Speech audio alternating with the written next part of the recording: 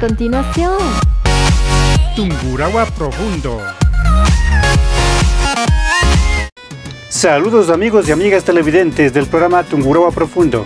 Es un gusto de encontrar en una nueva semana para compartir los reportajes y la música que nos acompañará en los siguientes minutos.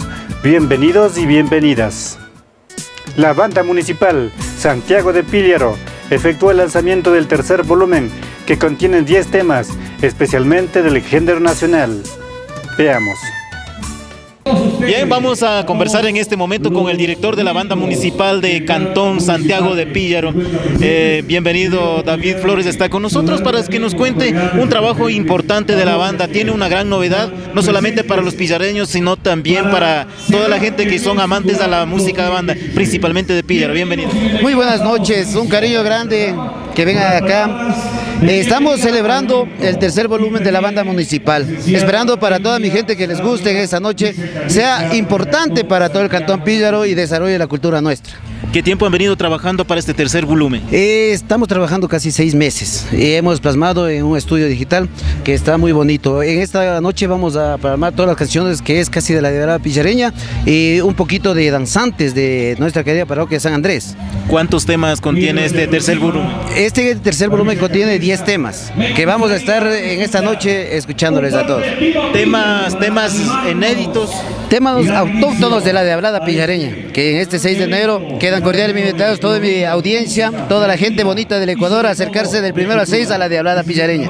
Estamos aquí. Eh, de alguna otra manera son recopilaciones que existen temas de las tradiciones que tiene Píllaro. Tradiciones, íconos del pueblo que han ido marcando historia a nivel de toda la ciudadanía pillareña. Algunos temas nos recuerda, por favor.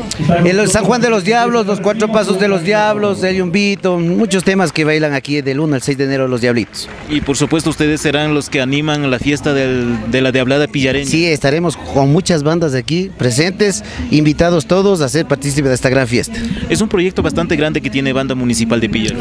Es un proyecto bastante grande que hemos venido plasmando a través con las autoridades que nos han dado el gran apoyo. Ese es el principal apoyo y nosotros hemos, hemos sido recíprocos en plasmar nuestro trabajo en un CD.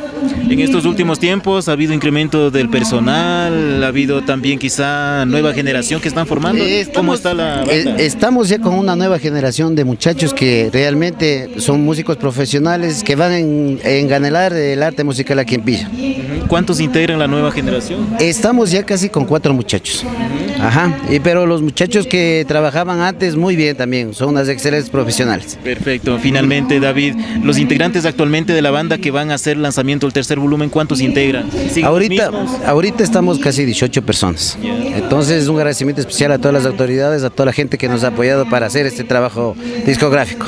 ¿Cómo nos pueden contactar? ¿Dónde pueden adquirir este nuevo material que va a ser presentado hoy? Este material se puede dirigir al Departamento de Cultura, es totalmente gratuito. Usted firma una firma de respaldo y se puede llevar su CD.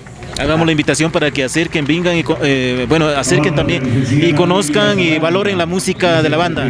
Bueno, a toda la ciudadanía que por favor se acerque al Departamento de Cultura, a la gente de aquí del cantón, a la gente nacional, que vengan al Departamento de Cultura y puedan llevar su CD. Vaya una sincera felicitación a las autoridades de Píllaro por trabajar en beneficio de sus habitantes. Al volver, amigos y amigas televidentes, estaremos con más reportajes en el programa Tungurahua Profundo.